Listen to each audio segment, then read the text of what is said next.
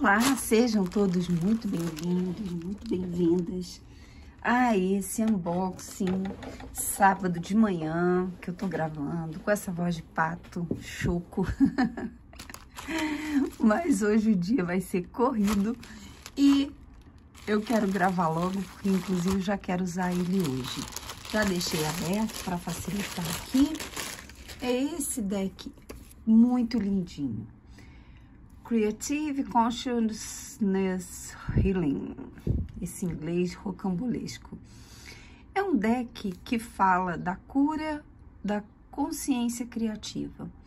É muito bonitinho, as imagens são muito bonitinhas. E para quem trabalha de forma terapêutica, é assim, uma ferramenta maravilhosa. São 44 cartas, né, com o livrinho para autocura e autocuidado, de Joanna Wright. Vamos lá, abrir. Ele, ele é um deck barato, encontrei ele barato e ficou muito tempo, eu, eu sempre falo, né? Eu deixo muito tempo no carrinho e vou analisando. Tem decks que não baixam nunca e tem decks que estão sempre ali. Eles podem ter uma oscilação de preço, mas em geral eles estão baratos. Então, é dessa editora Andrews Macmill. Não conheço. É uma caixinha durinha. Olha, abre por aqui. Dura.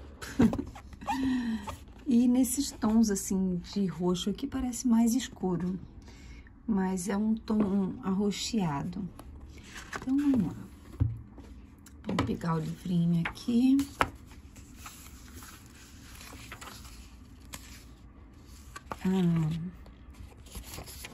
Ela tem um outro, eu acho que é livro, deve ser, não sei se é deck, The Magic of Mindset.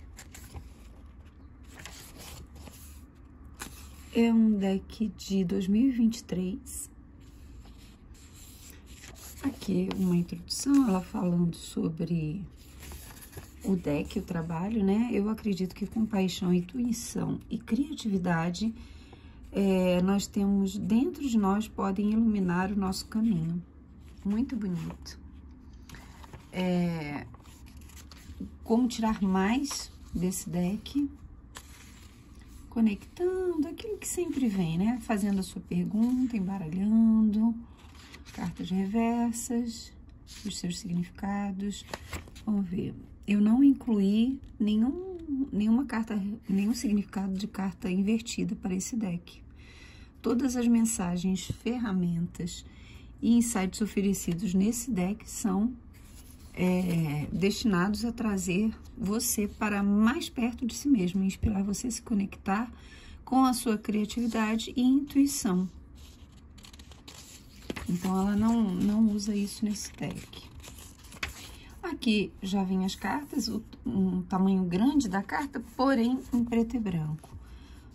Mostrando aqui o significado, as, os conceitos chaves da, da carta, é uma visualização criativa e aqui uma dica para o diário, quem faz o diário. É muito interessante. É um deck para se trabalhar a si mesmo e aos outros também. Aqui termina quando é só vai até a última, a última carta e finaliza assim, ó. Todo terapeuta, todo mundo, de uma forma geral, mas terapeutas, tarólogos, é, todo mundo que lida com a saúde psicológica e espiritual do outro, tem que se trabalhar também. Tem que se trabalhar, é fundamental porque nós lidamos com muitas energias, lidamos com muitas conexões que vamos fazendo ao longo do caminho com as pessoas. Então, não existe isso, eu atendi um cliente, tchau, foi. Não. Criou-se um, um, laço energético ali que pode permanecer mais ou menos tempo. E, em geral, a gente atrai para nossa agenda, seja de terapeuta, seja de tarólogo, aquelas pessoas que vão trazer espelhar as nossas questões internas. Então, quando nós trabalhamos, trabalhamos também as outras pessoas e vice-versa. Olha, tem essa, essa caixinha por dentro que é útil, né? Que as cartas não ficam lá soltas, balançando. Vamos tirar aqui essa fitinha. E aqui, olha, ela, não, elas não têm bordas, mas se aplica bem a borda, porque elas são escuras. São, ó, tem tons mais escuros, uma ou outra que é mais clarinha. E aí, é, os desenhos, eles por si só, eles já nos transportam a partes da nossa infância. Desculpa, gente, esqueci de silenciar aqui. A partes da nossa infância né? E olha que interessante, decompondo cordões energéticos, exatamente o que eu estava falando. É isso, a gente precisa limpar. E por isso o Ho'oponopono é uma tecnologia espiritual absurdamente necessária. A gente precisa limpar, porque o mundo é uma criação coletiva das nossas mentes das relações que fazemos. Então, quando limpamos essas conexões, limpamos o nosso campo mental, limpamos o do todo e o mundo caminha para intencionalmente um mundo melhor, né? Mushroom, eu fez aqui um trocadilho com lua e, e cogumelo, né? Curando os padrões do cérebro antigo, elas são numeradinhas aqui, ó. Aterrando. Enraizando no poder do nosso propósito. Uma brisa suave, permitindo fluar, ou fluar, fluir é, suavemente, de uma forma fácil. Respire, curando com a sua respiração. Nutrição alimentando o doce animal do seu corpo. Que lindo. Diamante roxo, manifestando os seus sonhos. Nutrir, aqui é uma outra, um outro sentido de nutrição, não sei. Aqui eu não enxergo. Dando a si mesmo amor, cuidado e encorajamento. Agora eu fiquei curiosa. Água. Experienciando o poder de cura da água. É, os limites de, do arco-íris, protegendo o seu verdadeiro self. Que lindo, fazendo um campo de arco-íris à nossa volta, né? Pertencendo, curando na comunidade. Mumbele ou barriga de luz, curando o seu umbigo, acho que é isso. Energia selvagem, focando no seu poder criativo. Olha que coisa linda, essas imagens são muito bonitinhas. Um limite de gelo, emergência, uma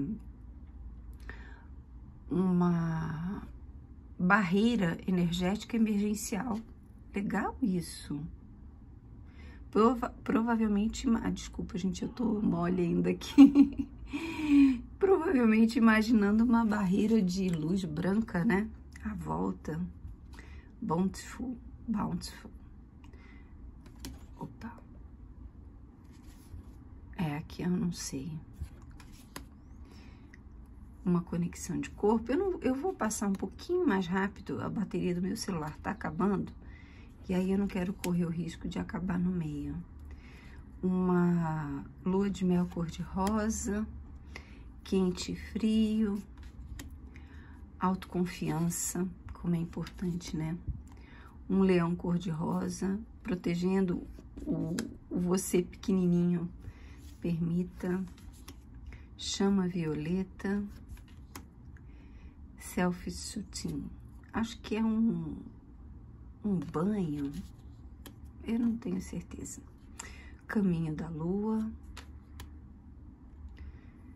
É, gente tem algumas palavras aqui, ela faz tipo uns trocadilhos com a lua, sabe? E aí eu não sei direito. Ó, por exemplo, aqui é dinheiro da lua, permitindo o fluxo da abundância. Então, ela tem, tem expressões e tem palavras que eu desconheço. E aí eu vou ter que pegar carta a carta e ir fazendo essa tradução, né? E para entender melhor o antigo eu, né, do passado. Perdão.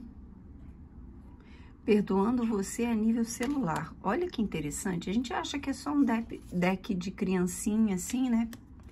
Por causa das imagens, mas ele é muito profundo o eu superior conectando com a sua orientação interna, verdadeira voz, comunicando com a sua verdade, recebendo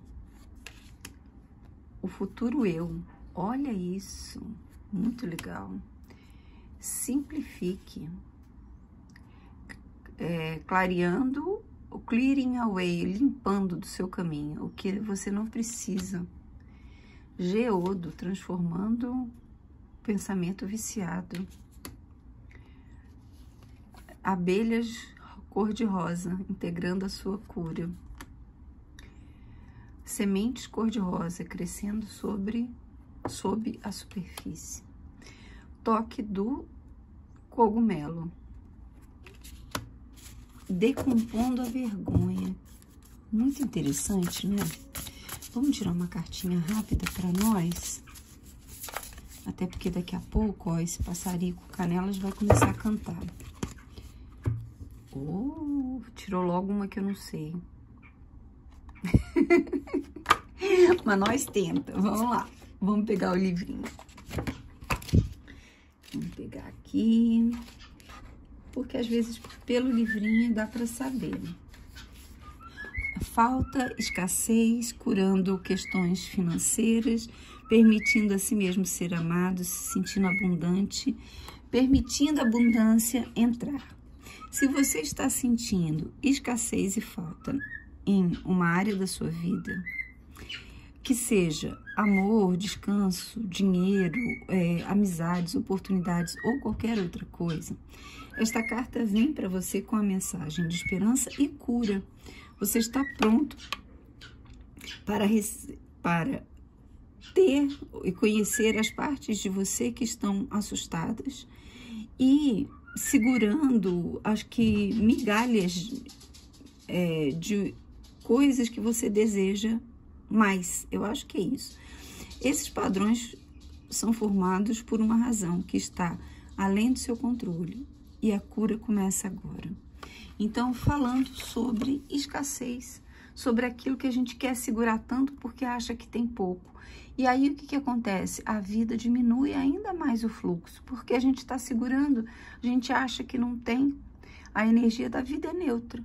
Se eu acho que eu não tenho, ou se eu acho que eu não mereço, ou se eu acho que eu não posso ter por crenças internas muito profundas, a vida não flui, a vida não traz, entende? Então, o, o trabalho de autoconhecimento, ele é um trabalho de autocura, fundamental para todos nós. É isso, gente. É um deck muito bonitinho. As imagens são muito bonitinhas. Desculpem aí esse unboxing corrido. Mas é porque realmente minha bateria tá acabando e eu não quero ter que editar, né? Eu acho um, um saco editar vídeo. e é isso. Espero que vocês gostem. Um grande beijo, fiquem com Deus e até a próxima.